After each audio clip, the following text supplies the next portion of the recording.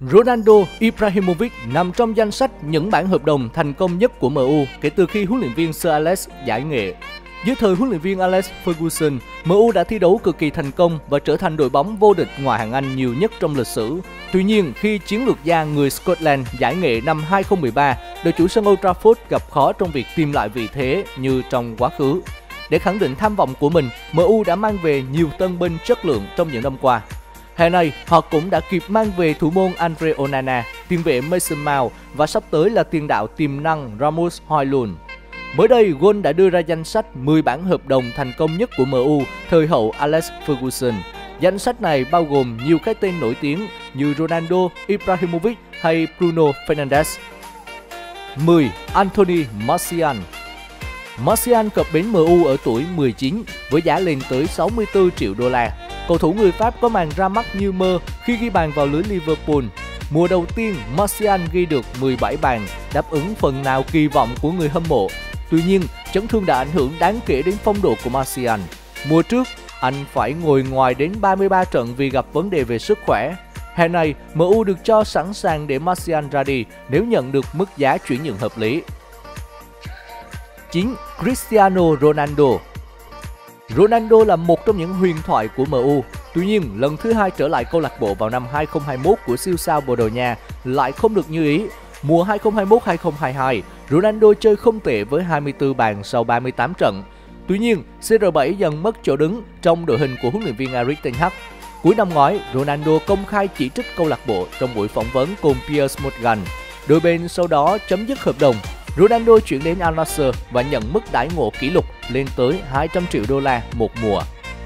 8. Rafael Varane Với tư cách nhà vô địch World Cup và Champions League, Varane gia nhập MU hè 2021 với mức giá chuyển nhượng vào khoảng 64 triệu đô la. Dù chưa thể trình diễn phong độ đỉnh cao như thời còn ở Real, tuy nhiên sự xuất hiện của trung vệ người Pháp giúp hàng thủ MU trở nên ổn định hơn. Varane lúc này đã trở thành trụ cột của đội bóng. Mùa trước, 7 trên 12 thất bại của MU đến khi Varane không ra sân.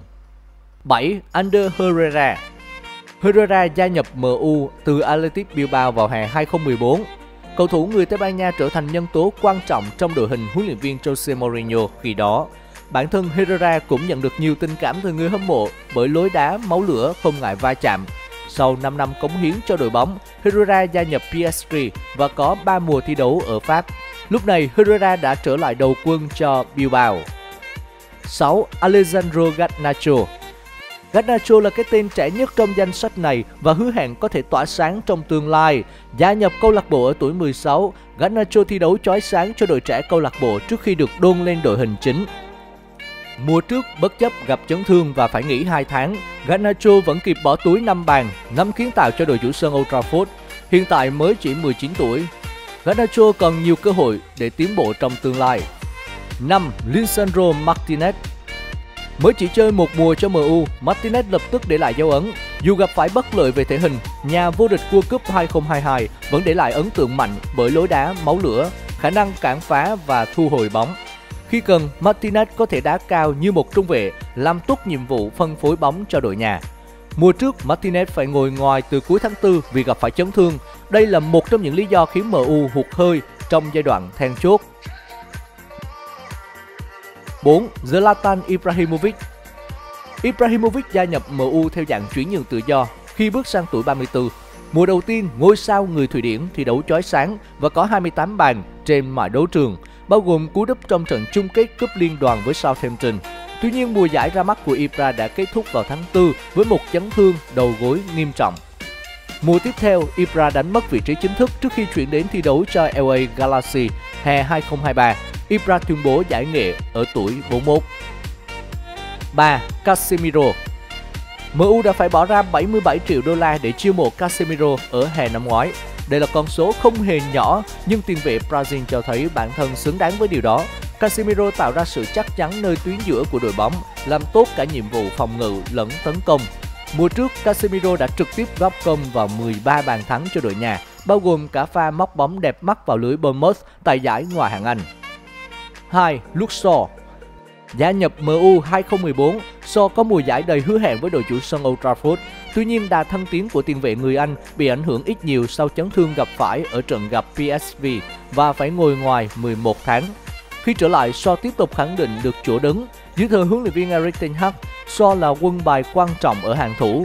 Cầu thủ sinh năm 1995 đã gia hạn hợp đồng với MU đến năm 2027 và đang hướng tới mùa giải thứ 10 cùng đội bóng. 1. Bruno Fernandes Trải qua gần một năm đàm phán, MU mới có thể chiêu mộ Bruno từ SportCP vào tháng 1 năm 2020, mức giá 60 triệu đô la, theo kèm phụ phí có thể lên tới 25 triệu đô la. Tuy nhiên nếu căn cứ vào những gì mà tiền vệ Bồ Đào Nha đã thể hiện, MU đã lời với thương vụ này. Bruno là cầu thủ dẫn đầu danh sách ghi bàn và kiến tạo của câu lạc bộ trong mùa 2020-2021. Mùa trước, Bruno là cái tên tạo ra nhiều cơ hội nhất tại giải Ngoại hạng Anh. Băng đội trưởng MU lúc này cũng đã được trao cho cầu thủ 29 tuổi. Video đến đây là hết rồi, bạn có thích video này không? Nếu thấy hay, hãy để lại một like và comment cho chúng mình biết nhé.